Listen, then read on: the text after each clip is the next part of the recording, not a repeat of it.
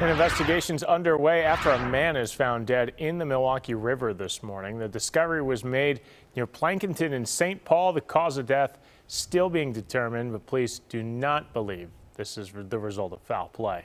U.S.